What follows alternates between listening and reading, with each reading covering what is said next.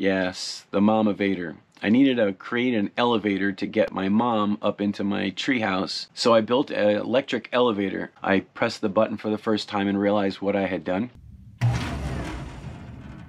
so I rode up and down on it again and again and again until I figured out whether it was going to be safe. I'm still here, so I figured put mom on it, right? I like it. First floor. First floor. Didn't even get uh, off There you go. thing. Welcome aboard. Mwah. You made it. Yes, I made it. The Momevator. We got it, the Momevator.